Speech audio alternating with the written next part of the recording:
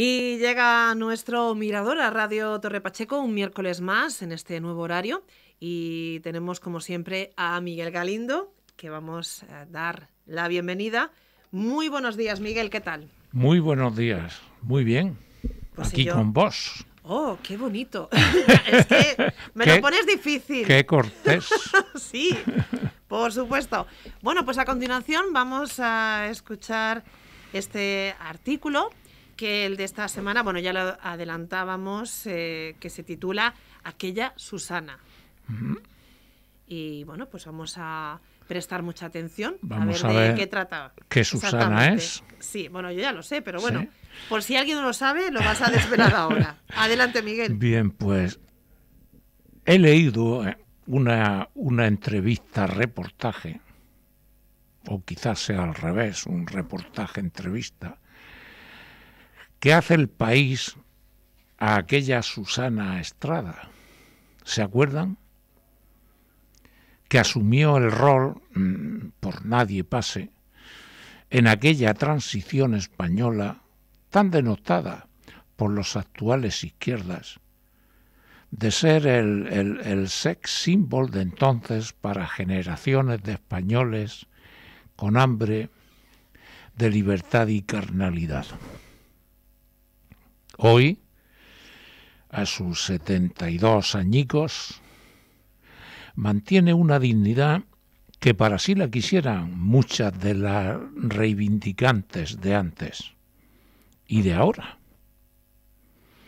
Lo único, para mí mucho, que hizo en aquella época de oscurantismo fue reivindicar el desnudo, la teta fuera, y con un desparpajo que a muchos encantaba y a otros escandalizaba. Asumió una figura de rebeldía, a pesar de que las metú actuales la tachan de antifeminista por usar su espléndida figura como adorno. Eso es lo que alegan. Y al autorrefocileo machista, convirtiéndola en blanco de disparos puritanos y diana de insultos y reproches de las actuales censoras del Paleolítico Ilustrado. Desinhibida y descocada, fue la primera mujer, yo creo que la primera persona, en hacerse consultora sexual en una España repleta de ciudadanos y ciudadanas reprimidos y reprimidas. Y le importó un puñetero vario que la clasificaran de puta nacional por romper los moldes pacatos y ruines establecidos, y que después han seguido miles de mujeres a su rebufo, y a lo que gracias a Dios ya nadie hace caso.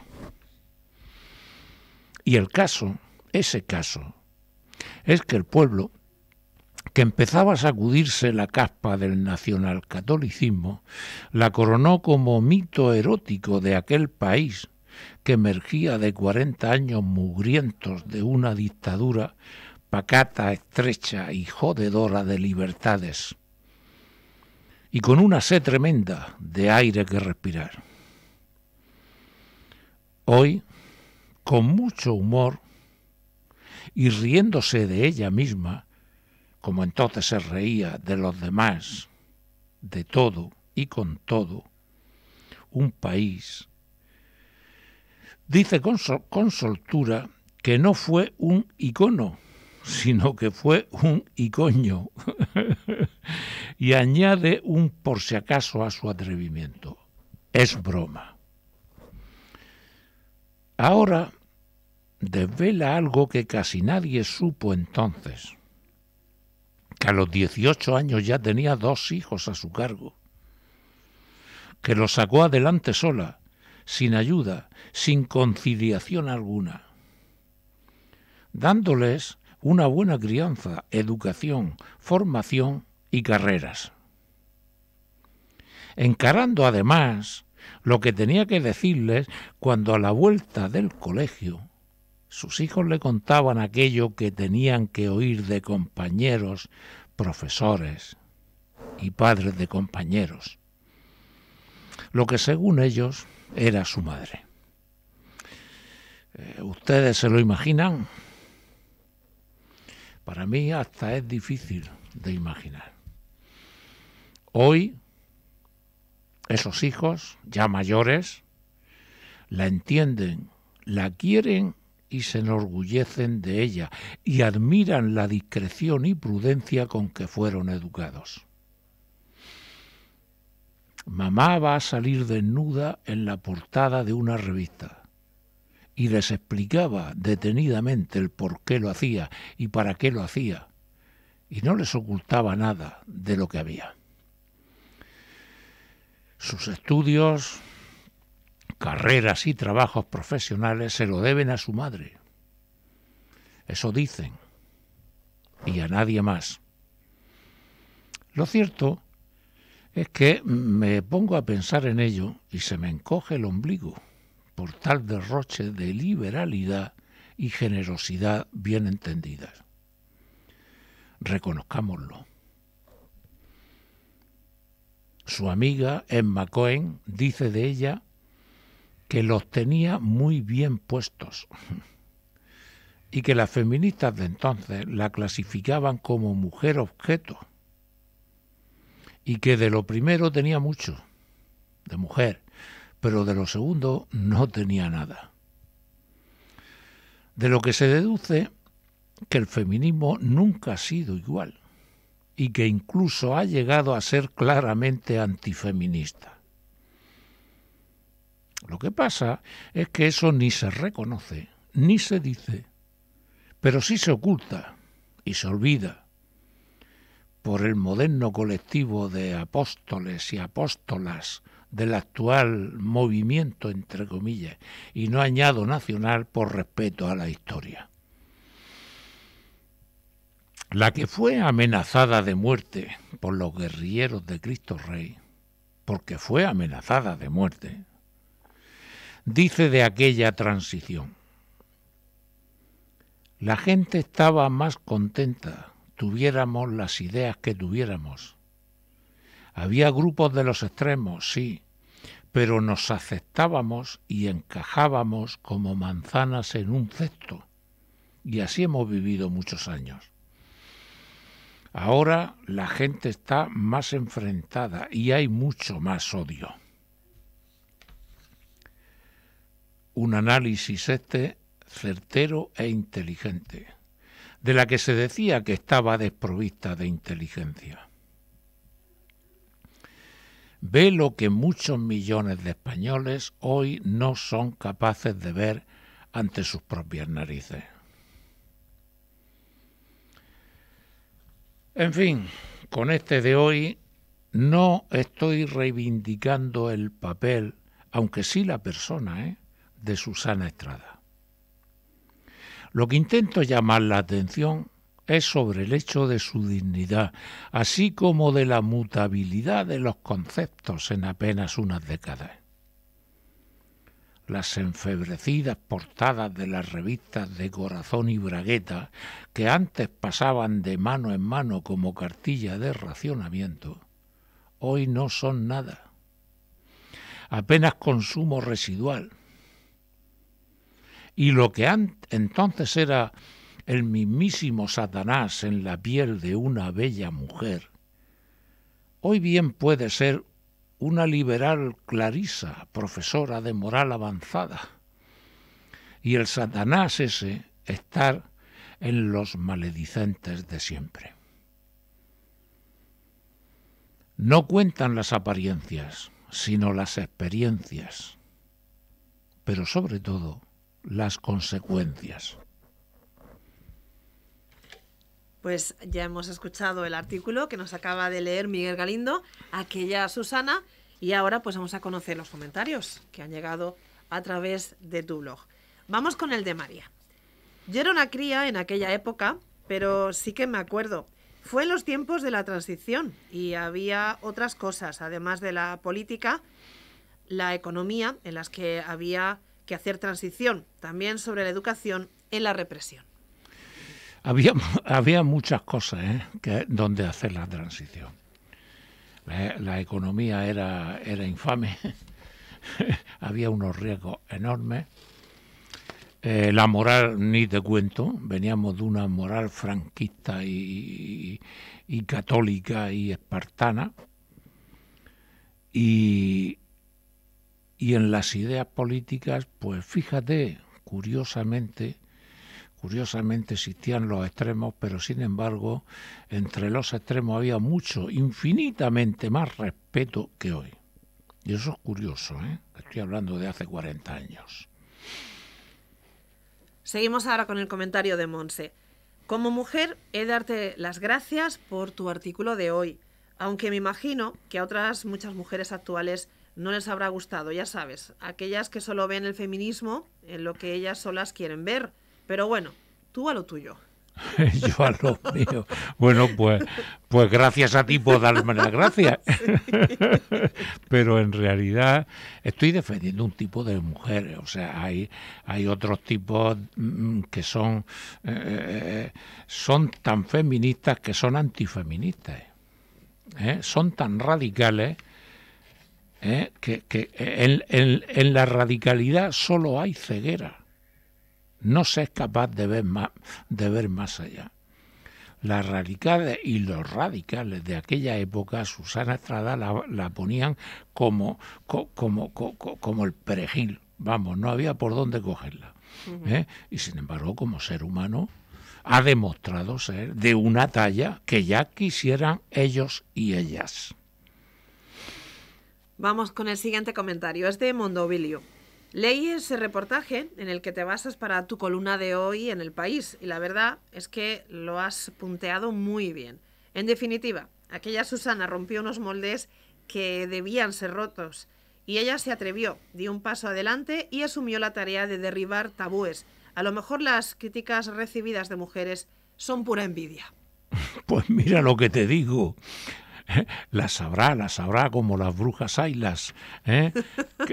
con, envidia. Vamos a ver, mm, mm, hay una cosa que hay que admirar de esta mujer, en, hay que trasladarse a aquella época.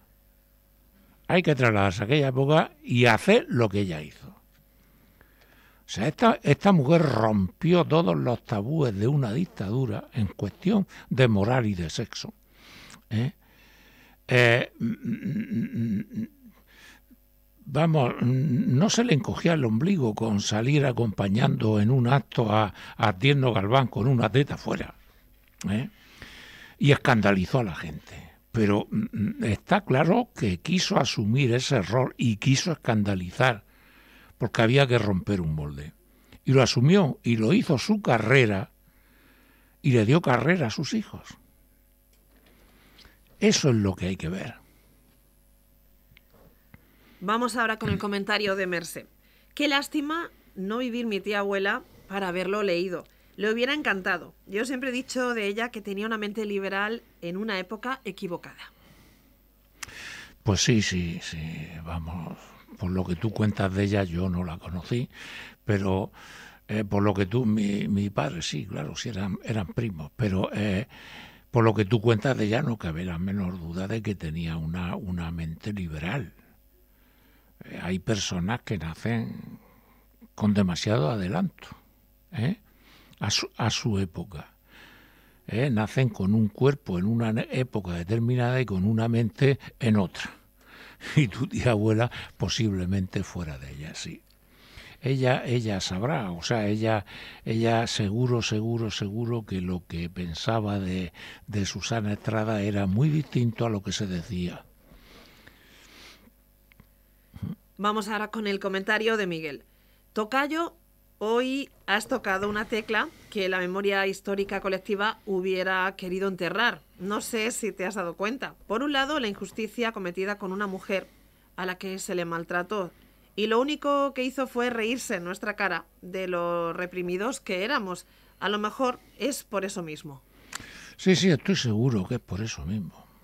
además toco esta tecla porque fin, ya me voy, ya me vais conociendo y, yo soy una persona incómoda. ¿eh? hablo de lo que nadie quiere hablar.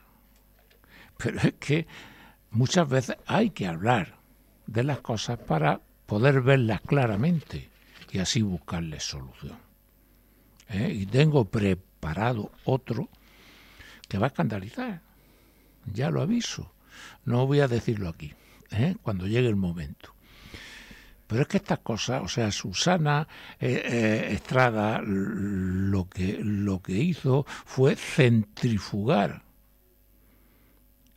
el machismo reprimido que había en una época y, la, y sobre todo la hipocresía que abundaba en aquella época. Eso fue lo que hizo, centrifugarlo, lavarlo, aclararlo y tenderlo. Porque hoy eso no es nada. Nadie hace caso de eso. Y eso fue lo que ella hizo. Seguimos con más comentarios. Este lo firma Luisa. Yo era muy pequeña entonces, pero en algunas ocasiones sueltas he oído entre familiares, mayores, algún comentario sobre ella. Pocos de respeto hacia su figura, la verdad, y alguno de cierta admiración. Al leer tu artículo he completado más su figura, pues me he enterado de su situación personal entonces y es admirable. Y tanto que es admirable. O sea, vamos a ponernos en su pellejo. Y en aquella época, o incluso no en aquella época, en la época actual ¿eh? que uno se dedique al destape para poder dar de comer a sus hijos o a otras cosas peores y que tenga que explicarles a sus hijos por qué lo hace. Eso es muy fuerte. Y que lo haga de tal forma y de tal manera que sus hijos lo comprendan y lo acepten y lo valoren. Muchas veces juzgamos a la gente por, por lo que vemos, ¿eh? este elemento o esta elementa. Hay que meterse dentro y entonces poder poder observar qué es lo que está pasando. Claro, con la perspectiva es como mejor se, se, se, elabora un juicio. Yo lo estoy haciendo con una perspectiva de 40 años, pero es que es curioso. Es que es curioso, es que ha tardado 40 años en aparecer en un periódico nacional ¿eh? y poner a Susana Estrena como lo que verdaderamente es, no como lo que fue. Han tardado 40 años. Vamos ahora con el comentario de Eva. Hace años, muchos ya, entre un grupo de amigas se suscitó una discusión bastante fuerte sobre esa mujer de la que tú tratas hoy. Curiosamente, yo fui la única que la defendía e intentaba comprender sus motivos. El resto era un furibundo ataque. Se hablaba de la moral, y yo me sentí confundida. Ahora veo que llevaba razón. sí, sí, claro que llevaba razón. Pero mira, uno cuando mejor se da cuenta que lleva razón es cuando se ve solo y lo ataca a todo el mundo, o la ataca a todo el mundo, como es tu caso. Entonces es cuando uno piensa, debo de llevar razón, cuando todo el mundo está contra mí. Porque estas cosas suelen hay mucho miedo. Cuando una persona destaca, rompe moldes, se hace distinto a, los que lo rodean, se está arriesgando.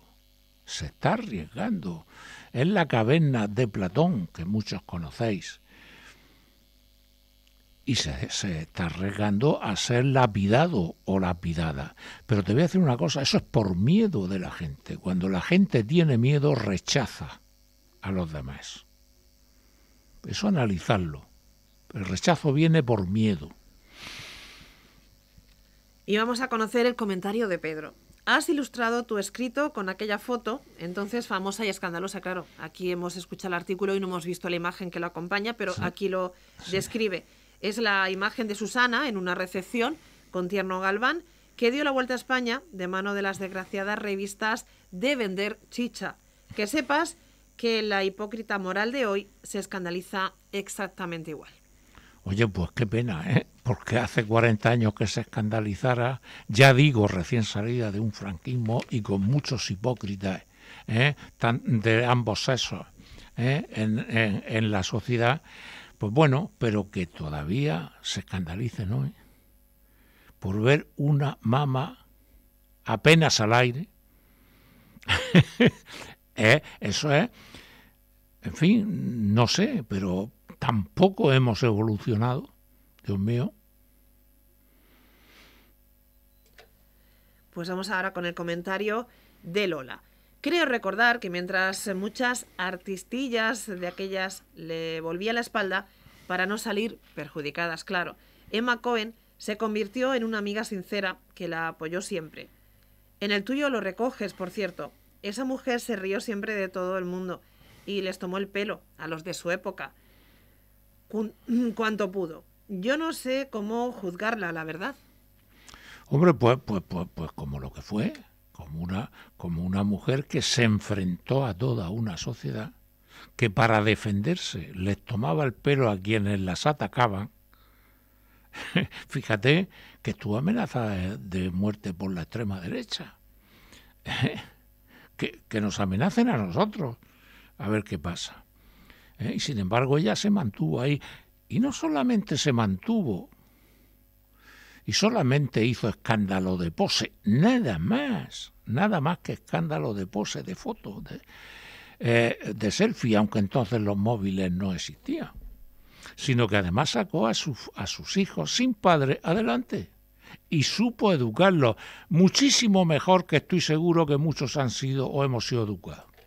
¿Eh? Vamos ahora con el comentario de Pepe. Una cosa que yo no sabía de ella, gracias por decirlo, es que estaba amenazada por mm. los guerrilleros de Cristo Rey, aquel grupo fascista extremo dirigido por el notario Blas Peñar, de triste recuerdo. Entonces sí que fue valiente para no amedrentarse y seguir plantándoles cara como si nada. Hay que reconocerlo. Eso, hay que reconocerlo. Es más, es más, fue amenazada por, por aquella gentuza, aquellos extremistas, fue amenazada de muerte. Pero sin embargo, en aquella época ella ni lo dijo, eso se supo después, ni lo dijo, no les dio el gusto de que la gente lo supiera. Se lo cayó y siguió funcionando y actuando sin guardaespaldas, sin protección, sin nada, ¿eh?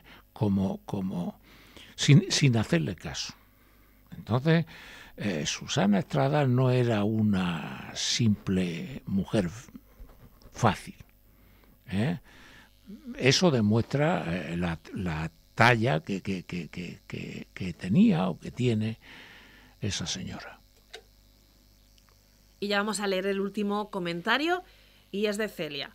Esa mujer no me gustó entonces y sigue sin gustarme ahora. Lo de hacerse orientadora sexual, por ejemplo, era toda una provocación, no otra cosa. Siento no estar en onda con tu artículo. Es mi opinión personal, naturalmente. Hombre, claro, como yo expreso la mía, faltaría más. ¿eh? Pero fíjate, has dicho una cosa. Orientadores y orientadoras sexuales hoy es una carrera reconocida. ¿Dónde está el mal? en la época en que lo hizo o, o, en, la carrera. Vamos a pensar en eso. ¿eh? La penicilina cuando se descubrió salvó cientos de miles de vidas, millones de vidas. Eso, pero eso quiere decir que no, que, que si se llega a inventar antes, la hubiéramos criticado por inventarse antes de tiempo. ¿Eh? ¿Dónde está el mal? ¿Dónde está el mal que una persona se haga orientadora sexual? Esta mujer lo hizo por dos razones. Primero, por obtener un oficio, que sabía que, ese oficio más tarde o más temprano iba, iba, a salir. Y segundo, por supuesto, para escandalizar a los tontos y a las tontas porque vivía de escandalizar. Pero eh, fijarse, el Evangelio dice que, que nadie escandaliza a nadie, la gente se escandaliza sola, ella misma. El mal no está fuera, el mal sale de dentro de las personas. Y eso lo dice Jesucristo, no lo digo yo. Bueno, pues hemos escuchado el artículo en este mirador aquella Susana y también los comentarios. Y bueno, Miguel, tenemos ya el próximo programa, ya tenemos el título para anunciarlo. Y esto viene por algo, ¿no? Por una petición que ya te hicieron en su momento. Efectivamente, no sé si recordarás que hará, bueno, no sé, tres o cuatro semanas, no sé, 15, 20 días, no, no recuerdo, pero alguien, hablando del Mar Menor, uno que hicimos, uno que hicimos, alguien pues dijo que, que, que se estaban señalando, que se estaban señalando unas causas y se estaba ocultando otras. Algo así fue. ¿eh? se están señalando unas causas y se está escondiendo otra muy importante. Entonces empezó a hablarse. Bueno, y yo prometí, prometí que, iba a investigar y que iba a escribir un artículo sobre ello. Bueno, pues ese es el de la semana que viene. El título, El Mar Menor y los cochinos. Exactamente. Ahí está. Se habló de, de, de criaderos de cerdos, de tal. Bueno, pues el mar menor y los cochinos, porque los cochinos somos dos, cochinos animales de engorde y cochinos humanos, porque hay muchos humanos que somos muy cochinos. por, eso el mar menor y los cochinos. Y sálvese. Ahí está el título. Bueno, Miguel, pues agradecerte que vengas aquí a Radio Torre Pacheco. no hay por qué. Y yo te espero el próximo miércoles. Hasta el próximo miércoles.